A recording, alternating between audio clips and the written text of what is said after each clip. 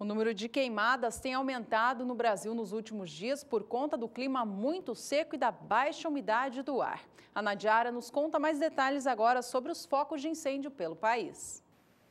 A frente fria que chegou ontem ao sul do Brasil e já está se aproximando do sudeste, ela consegue organizar ainda ao longo desta quinta-feira algumas chuvas sobre o interior da região sul e partes de São Paulo. No sul do Brasil, a chuva mais intensa está ocorrendo principalmente no Rio Grande do Sul e algumas áreas de Santa Catarina. No Paraná, chove apenas no sul e leste do estado. Essa chuva não chega a beneficiar aquelas áreas que estão mais secas do oeste e norte paranaense, importantes áreas produtoras de trigo que foram afetadas pelas geadas da segunda quinzena do mês de julho e agora sofrem com a falta de umidade. Essa frente fria ela não consegue se conectar com a umidade da Amazônia, por isso não chega a trazer chuva generalizada para o centro-sul do Brasil. A partir de amanhã o tempo já volta a abrir sobre o interior da região sul e não tem previsão de chuva também sobre boa parte do sudeste e do centro-oeste. A chuva fica muito restrita aqui sobre a faixa leste, entre São Paulo e Rio de Janeiro. Para esses próximos cinco dias, chuva forte apenas no extremo norte do país e algumas pancadas pancadas de chuva também sobre as áreas costeiras do Nordeste.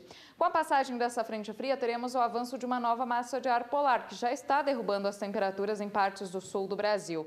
Para esses próximos cinco dias, a expectativa é de madrugadas bem mais frias no sul, em partes do sudeste e também em Mato Grosso do Sul. Mas desta vez, a onda de frio não será tão intensa a ponto de trazer geadas para áreas produtoras. Se o fenômeno ocorrer, é apenas em áreas mais altas da Serra Gaúcha e Serra Catarinense.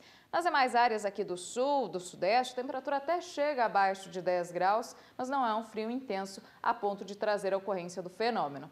Para o segundo período, a partir do dia 9 de agosto até o dia 13, a expectativa é de mais chuva para o sul do Brasil, só que principalmente no Rio Grande do Sul. E apesar da chuva ser abrangente, não há previsão para grandes volumes de água. Continua chovendo no extremo norte do país, em áreas do litoral nordestino, no Espírito Santo, mas em boa parte aqui do Brasil central, o tempo continua bastante seco e a umidade do solo segue em declínio.